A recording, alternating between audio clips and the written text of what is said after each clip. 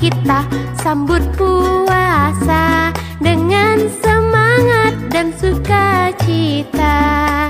Marhaban ya Ramadan, marhaban syahrul siam ya Allah sampaikan kami di bulan Idul Fitri Takoballah mina wa minkum Takobal ya karim Minal aidin wal faizin. Mohon maaf lahir dan batin.